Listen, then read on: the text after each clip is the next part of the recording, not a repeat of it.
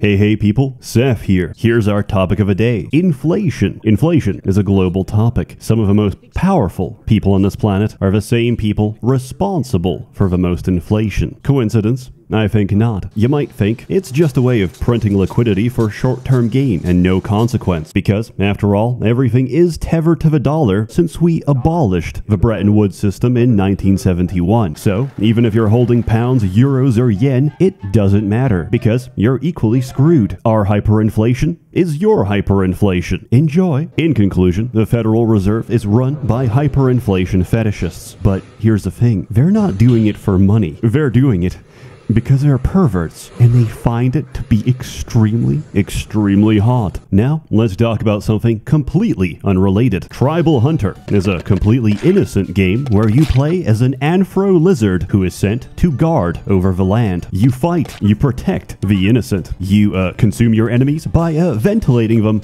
directly into your mouth. and it's really funny because if you eat too much, he gets large. oh god, imagine that. and what if he ate even more and got even larger? Well, that would be crazy. But don't eat too much or you're gonna pop. This is an allegory for your blood vessels, which are going to pop if you keep going down this road because soon enough, the only way you can keep going down this road is in a motorized mobility scooter. Answer me this what will you do when Elon Musk turns off the Tesla battery in the middle of the woods? That's right, you're going to be kissed to death by a, a pack of nanny dogs who just broke out of a local nursery. And guess what? Breakfast was free infants ago. You're the main course. Think about that next time you're engorging yourself like the hungry, hungry caterpillar that you are. This game plays like a brawler platformer Metroidvania. It's like the old Metroids if Samus was or could become heavily pregnant, and this grants her gameplay advantages. It's much the same way. When you're small, you're very quick, you're very nimble, and you can platform really easily. When you're large, you hit like a truck. Your damage, your animations, your hitbox, they all scale with your stomach content. However, you become both vertically and horizontally challenged when each footstep is the equivalent of a quake in Asia. Is the least of your concern. This might not be politically correct to say, but there's no way to sugarcoat it without uh, making you even larger. You're a fat fuck. So, how do we shed those pounds? Well, you sit down and you metabolize your food in a matter of seconds. When the morbidly obese blame it on metabolism, this is exactly what they mean. This is what they're competing against. This goddamn lizard just metabolized, and I calculated this by the way. I took an average slaughter size 250 pound hog, and uh, he ate three of those, which, in a span of 15 seconds, he has digested completely. That's over half a million calories reabsorbed into his body. And still, we're asking stupid questions like, why can he breathe fire? Here's a question why wouldn't he? Sitting down quickly trades satiety for health, and it's your primary way of healing up between fights. It's actually genius design. Like, Think about it. You're making a game and you get really happy when things get larger. That dopamine hits hard, like coronary heart disease. But where do we go from here? It's already half a screen, and the commission artist is just not responding anymore. After the last request, there's no sign of him. Their postal address leads us to a monastery in Middle England. But if we have to deflate and get smaller as part of a gameplay mechanic, just like free refills at a Denny's, we can get large over and over again. You get power ups, you get stronger, and you get access to more levels. Naturally, the most common and relevant form of power up is uh, increasing your stomach capacity. Now, you might think, oh, my capacity just got 10 points higher. And like me, you might initially miss that firing of a neurons, that transmission of a synapse, where you realize, oh, oh, this this isn't my final form. I can get larger. And so there's this uh, strange drive pushing you forward where you're kind of morbidly fascinated. Because you see, there's many forms of motivation, and ours is to see how large we can possibly get. Who is this game for? Why are we covering it? Why is it important? That's a very simple answer. First, they came for the furry inflationists, and I did not speak out, for I was not a furry inflationist. And then they came for me, and there was no one left left to speak out. That's why we defend them now and we get on good terms so that during the upcoming political upheaval, they can return the favor and vor our enemies. Due to the nature of my work, I cover some really old and really niche games. Problem is, it's hard to get an original copy, so I depend on friends and family to send me a working copy of Bad Rats 2, Punjabi pre-cracked no virus. One of the most stable ways to do this is torrenting, or as it's more commonly known, trying before buying. Unfortunately, my internet provider and the people who work there are the product of a brother and sister who loved each other a little too much, as they cannot distinguish between illegal torrenting and me trying to download a legitimate copy of a game I already own. So they throttle my connection and my internet grinds to a halt. Thank you Verizon for the opportunity to pay $89.99 monthly, all for the luxury of having no internet. Despite this, like a battered housewife, I insisted they're doing it because they love me. Then, about a month later, I received a cease and desist from Verizon telling me that I'm most definitely going to jail, giving me a list of racially motivated gangs I can choose to join once inside. I've never owned a paper shredder before, but I gotta tell you, it's strangely satisfying. That's my third letter this week. So I realized my internet provider really doesn't know what's best for me. So instead, I chose to install ExpressVPN. When I run ExpressVPN, my internet traffic goes through a secure encrypted server. So my ISP can't throttle my download speed because they can't see what I'm doing, nor can they see the sites I visit when I when I'm working hard at my job and sell my mental illness to advertisers. It's incredibly easy to use. All I had to do is download the app, tap a single button, and just like that, I'm fully secured. And ExpressVPN does all this without slowing my connection. So stop letting internet providers arbitrarily decide what you can and can't do with something you pay good money for every month. Protect yourself today from the misinformed decisions of mega corporations who don't care if you live or die by using the same VPN I've trusted since 2019. Three years, and they never failed me once. How about that for an endorsement? Sign up now and you can get three months of ExpressVPN for free by visiting expressvpn.com forward slash sseth or clicking the link in the description box below. Thank you to ExpressVPN for sponsoring this video. Gameplay is pretty straightforward. You help out your local village by beating the shit out of everything and consuming their dead bodies. For an island guardian, you're actually quite terrifying, and the village itself is a really nice place. What a beautiful day on God's earth. Hmm, I wonder, what shall I do today? Work on myself? Develop my skills? Care for my friends and family? I know, I'll spend my entire life online and become increasingly weird and isolated, divorced from reality. Self-esteem?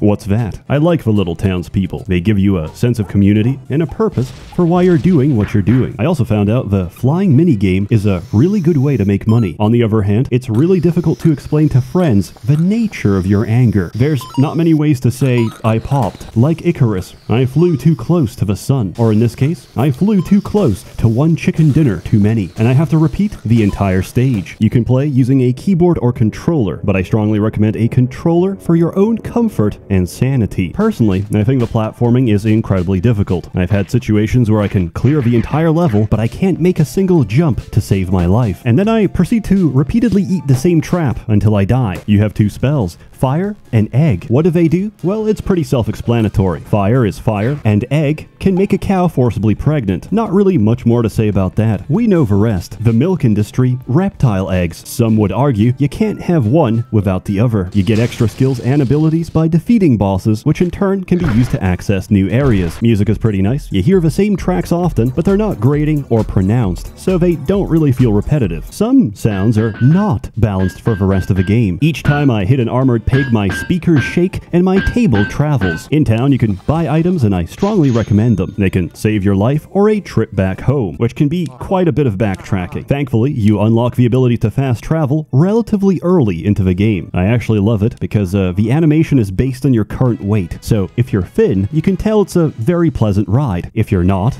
well, it's clearly more of a struggle to stay in the air. At some point, I realize you can intentionally get caught and bloated by slime plants, break free, spit out the slimes, kill them, and generate infinite XP. Unfortunately, I have to witness something unsettling each time I do this. So no, I don't think it's an exploit. It's an intentional form of torture. Everything you gain is outweighed by everything you lose, namely, the ability to close your eyes ever again without that image burned into your skull. Enemies are varied and will harm you in one of two ways. One, they can kill you. Two, they can forcibly feed you until you explode. This is a similar experience to visiting grandma. The longer you stay, the higher your risk of cardiac arrest. She won't kill you out of hatred. She'll drown you in the pancake syrup river of love. Also, the death sequence for getting too full is arguably more difficult to swallow. Food is both your strength and weakness. You must constantly toe the line between obesity and death. They say video games are not the greatest medium for storytelling, but I disagree. When you see your obese lizard grappling the side of a cliff, his face says it all. Without words, he evokes one singular emotion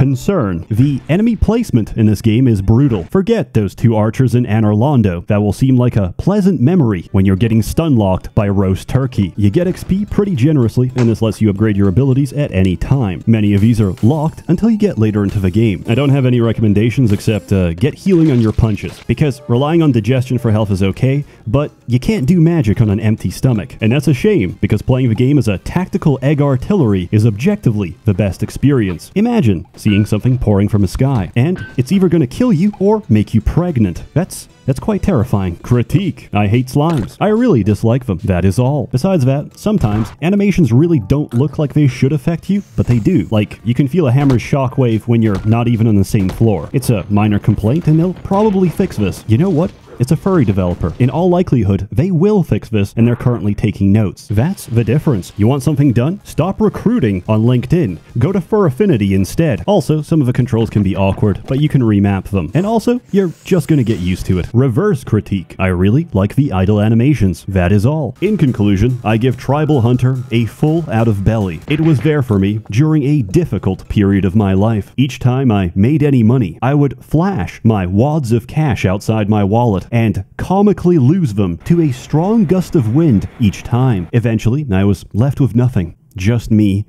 and a small bag of crack. I knew I had to get my life together. So I smoked the whole bag, using them to outrun cars and siphon gasoline from their tanks, usually at the same time. I would describe the experience like using the devil trigger from Devil May Cry. I used high gasoline prices to in turn buy more crack, which I used to call fueling my addiction. I found this joke to be very amusing. I would repeat it often to the same homeless man I would hound for hours, running circles around him as he cried and wept. And here I am today. Thank you, Tribal Hunter, for giving me my life back. Hey, sorry for stretching out the video, but I'm happy to inform you all that Tribal Hunter is now on GOG. Follow my GOG link at forward slash UNICEF for 15% off. For every dollar you spend, I will personally steal a liter of clean drinking water from the children that need it most. Forget charities that make things better. I promise I'll make them worse. The developers told us they're really close to a 1.0 release, so even if you buy now, the game is going to leave early access in a couple of days. As always, more more content to come, so stay tuned. Or don't. It's an open door policy. A warm thanks to the many members of the Merchants Guild generously funding and bankrolling these videos. You're all truly wonderful. Unless you're mentally unstable, in which case I recommend comprehensive psychiatric therapy. Have a good one.